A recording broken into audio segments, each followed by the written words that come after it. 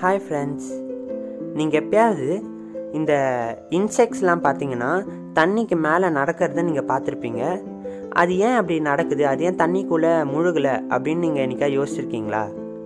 சரி இப்போது இலைகள் மரத்தோட இலைகள் மேலெலாம் வந்து இந்த வாட்டர் ட்ராப்லெட்ஸ்லாம் வந்து ஒரு ஸ்பெரிக்கல் ஷேப்பில் அதாவது ஒரு ரவு ரவுண்டு ஷேப்பில் வந்து இருக்கிறத நீங்கள் பார்த்துருப்பீங்க அது ஏன் அப்படின்னு என்னைக்காவது நீங்கள் யோசிச்சிருக்கீங்களா? சரி அது கூட விடுங்க. இப்போ நீங்கள் ஸ்விம்மிங் பூலில் இல்லை ஏதாவது ஒரு கிணறுலையோ மேலேருந்து குதிக்கும் போது உங்களோட உடம்பு வந்து செமையாக வலிக்கிறத நீங்கள் பார்த்துருப்பீங்க. அதாவது உங்கள் உடம்புல செமையாக யாரா போட்டு அடித்த மாதிரி எரியும். அது ஏன் அப்படின்னு என்னைக்காவது நீங்கள் யோசிச்சிருக்கீங்களா? சரி அப்படி ஏதாவது உங்களுக்கு எக்ஸ்பீரியன்ஸ் நடந்ததுன்னா கமெண்ட்டில் சொல்லுங்கள் சரி ஓகே அது ஏன் நடக்குது அப்படின்றது அதுக்கு பின்னாடி இருக்க சயின்ஸை தான் நம்ம இந்த வீடியோவில் பார்க்க போகிறோம் அது என்னதுன்னா சர்ஃபேஸ் டென்ஷன் அப்படின்னு ஒன்று இருக்குது அது வந்து பொதுவாக எல்லா லிக்விட்ஸ்க்கும் இருக்கும்.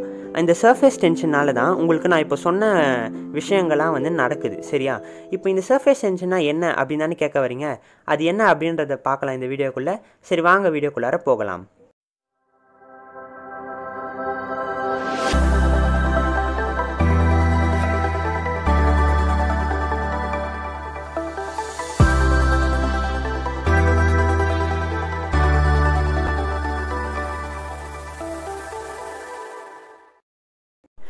சரி இப்போது உங்ககிட்ட ஒரு கப் ஆஃப் வாட்டர் இருக்கிறதா நீங்கள் இமேஜின் பண்ணிக்கோங்க. சரியா? இப்போது அந்த கப் ஆஃப் வாட்டரில் எக்கச்சக்கமான வாட்டர் மாலிக்யூல்ஸ் இருக்கும். இப்போது அதில் நடுவில் ஏதாவது ஒரு வாட்டர் மாலிக்யூலை நீங்கள் கன்சிடர் பண்ணிக்கோங்க.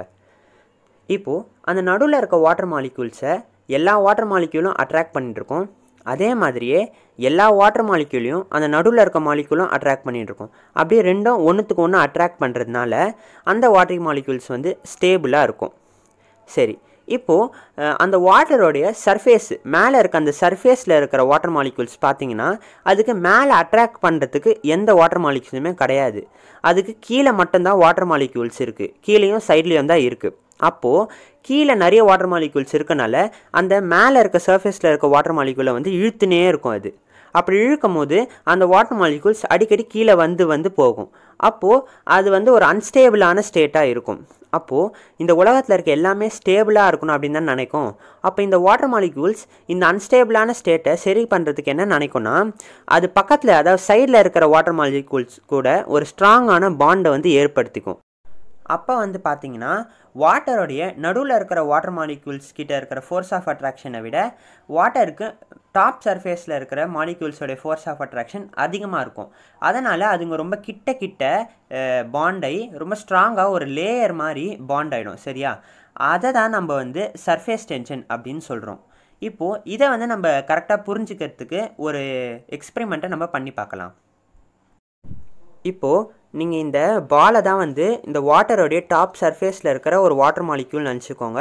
இப்போது இதுக்கு மேலே வந்து வாட்டர் மாலிக்யூல்ஸே கிடையாது. வெறும் அடியில் மட்டும்தான் இருக்குது சரி இப்போ இந்த ரெண்டு சைடில் இருக்க இந்த கயிறை வந்து இந்த வாட்டர் மாலிக்யூலோடைய பக்கத்தில் இருக்கிற வாட்டர் மாலிக்யூலுக்கும் இருக்கிற அந்த பாண்டு அப்படின்னு நீங்கள் நினச்சிக்கோங்க. இல்லை ஃபோர்ஸ் ஆஃப் அட்ராக்ஷனாக வச்சுக்கோங்க. இப்போது இதுக்கு அடியில் இருக்கிற வாட்டர் மாலிக்யூல்ஸ் எல்லாமே பார்த்தீங்கன்னா இந்த வாட்டர் மாலிக்யூலை பிடிச்சி கீழே கீழே இழுக்கும். அப்போ அது ஒரு அன்ஸ்டேபிள் ஸ்டேட்டாக இருக்கும். அப்போது அதை வந்து ஸ்டேபிளாக கொண்டு வரத்துக்கு இந்த பக்கத்தில் இருக்க வாட்டர் மாலிக்யூல்ஸ் வந்து இதை வந்து இழுக்கும். அப்படி இழுக்கும் போது இந்த வாட்டர் மாலிக்யூல்ஸ் மேலே போகும். அப்போது இது வந்து ஒரு ஸ்டேபிள் ஸ்டேட்டாக இருக்கும். அப்போ பார்த்தீங்கன்னா இந்த ரெண்டு கயிறில் ஒரு டென்ஷன் வந்து க்ரியேட் ஆகும். அதை இழுக்கும் போது அதை தான் நம்ம சர்ஃபேஸ் டென்ஷன் சொல்லுவோம். இப்போது இந்த வாட்டரோட அவுட்டர் லேயரில் இந்த சர்ஃபேஸ் டென்ஷன் இருக்குல்ல அது வந்து இந்த வாட்டருக்கு ஒரு ஷீட்டு இல்லை ஒரு பிளாங்கெட்டு இல்லைனா ஒரு ரப்பர் மாதிரி வந்து ஆக்ட் ஆகும் சரியா? இப்போது இந்த சர்ஃபேஸ் டென்ஷன் இருக்கனால வாட்டருடைய சர்ஃபேஸ் ஏரியா குறையும் அப்படின்னு சொல்லுவாங்க. அதாவது அதோடைய நிலப்பரப்பு வந்து குறையும் அப்படின்னு சொல்லுவாங்க. அது ஏன் அப்படின்னு பார்த்தீங்கன்னா இப்போது வாட்டர் மாலிக்யூல் சாதாரணமாக தள்ளி தள்ளி தானே இருக்கும். அப்போது அதுக்கு சர்ஃபேஸ் ஏரியா அதிகமாக இருக்கும். இதே இந்த சர்ஃபேஸ் டென்ஷனால் வாட்டரோட டாப் லேயரில் மட்டும் இன்டர்மாலிக்யூலர் ஃபோர்ஸ் அதிகமாகி எல்லா மாலிக்யூல்ஸும் கிட்ட கிட்ட கிட்ட கிட்ட வரும்போது அப்போது சர்ஃபேஸ் ஏரியாவும் உங்களுக்கு கம்மியாகும். அதனால தான் இந்த சர்ஃபேஸ் டென்ஷன் எப்படி டிஃபைன் பண்ணுவாங்கன்னா ஒரு லிக்விடுக்கு வந்து அதோடைய சர்ஃபேஸ் ஏரியாவை குறைக்கக்கூடிய டெண்டன்சி எவ்வளோ இருக்கோ அதை தான் வந்து சர்ஃபேஸ் டென்ஷன்னு சொல்லுவாங்க. அப்படின்னு இன்னொரு டிஃபனேஷன் இருக்குது சர்ஃபேஸ் டென்ஷனுக்கு இப்போது இந்த வாட்டரில் இருக்க சர்ஃபேஸ் டென்ஷன் எப்போவுமே ஒரே மாதிரி தான் இருக்குமா? அப்படின்னு கேட்டிங்கன்னா அது கிடையாது. இந்த சர்ஃபேஸ் டென்ஷன் வந்து நிறைய ஃபேக்டரை வந்து டிபெண்ட் பண்ணியிருக்கு. அது என்னன்னா ஃபர்ஸ்ட் வந்து டெம்ப்ரேச்சர் இந்த டெம்ப்ரேச்சர் வந்து எப்படி சர்ஃபேஸ் டென்ஷன் அஃபெக்ட் பண்ணோன்னு பார்த்தீங்கன்னா இப்போ வந்து நீங்கள் வாட்டரை சூடு பண்ணும்போது அது உள்ளே இருக்க மாலிக்யூல்ஸில் இருக்க ஸ்பேஸ் வந்து அதிகமாகும். ஆனால் சர்ஃபேஸ் டென்ஷனில் என்ன சொல்லியிருக்கேன்? வாட்டரில் இருக்கிற அவுட்டர் லேயரில் இருக்க மாலிகூல்ஸ்லாம் இறுகி இறுகி இருந்தால் தான் அது சர்ஃபேஸ் டென்ஷன்னு சொல்லியிருக்கேன். ஆனால் சூடு பண்ணும்போது அதில் இருக்க டிஸ்டன்ஸ் அதிகமாக தான் ஆகும். அப்போது நீங்கள் டெம்பரேச்சரை இன்க்ரீஸ் பண்ணிங்கன்னா சர்ஃபேஸ் டென்ஷன் டிக்ரீஸ் ஆகும். சரியா? இப்போது இது ஒரு ஃபேக்ட் என்னென்னா நீங்கள் வாட்டரை அது வாட்டரை வந்து பாயிலிங் பாயிண்ட் அளவுக்கு சூடு பண்ணிங்கன்னா அதாவது வாட்டரை வந்து பாயில் பண்ண வச்சிங்கன்னா சர்ஃபேஸ் டென்ஷன்றது ஜீரோ தான் இருக்கும் வாட்டரில் அப்படின்னு சொல்கிறாங்க சரியா? சரி. இப்போ இந்த வாட்டருடைய சர்ஃபேஸ் டென்ஷன் அடுத்து எதை டிபெண்ட் பண்ணியிருக்குன்னா ஏதாவது பொருட்கள் இல்லை இம்ப்யூரிட்டிஸ் வாட்டரில் கலந்து இருக்குதா இல்லையா? அதை டிபெண்ட் பண்ணியிருக்கு. இப்போ எக்ஸாம்பிளுக்கு பார்த்தீங்கன்னா வாட்டரில் கலக்கக்கூடிய எந்த சப்ஸ்டன்ஸ் அதாவது மேக்ஸிமம் ஆஃப் சப்ஸ்டன்ஸை வந்து நீங்கள் வாட்டரில் ஆட் பண்ணிங்கன்னா அது வந்து வாட்டரோட சர்ஃபேஸ் டென்ஷனை இன்க்ரீஸ் பண்ணும். அதாவது இப்போ எக்ஸாம்பிளுக்கு நீங்கள் உப்பையோ இல்லை சுகரையோ நீங்கள் வாட்டரில் ஆட் பண்ணிங்கன்னா வாட்டரோட சர்ஃபேஸ் டென்ஷனை அது இன்க்ரீஸ் பண்ணும் சரியா? ஆனால் இதில் ஒரே ஒரு எக்ஸம்ஷன் மட்டும் இருக்குது அது என்னென்னா இப்போது சோப்புன்றது வந்து வாட்டரில் டிசால்வ் ஆகக்கூடிய ஒன்று ஆனால் அது வந்து வாட்டருடைய சர்ஃபேஸ் டென்ஷனை டிக்ரீஸ் தான் பண்ணும். அது ஏன் அப்படின்னு கேட்டிங்கன்னா சோப்பு உள்ள long chain hydrocarbon molecule இருக்குது அதாவது ஹைட்ரோ கார்பனே லாங் செயினில் இருக்கும். அப்போ ஒன்று ஒன்று பெரிய பெரிய மாலிக்யூல்ஸாக இருக்கும்.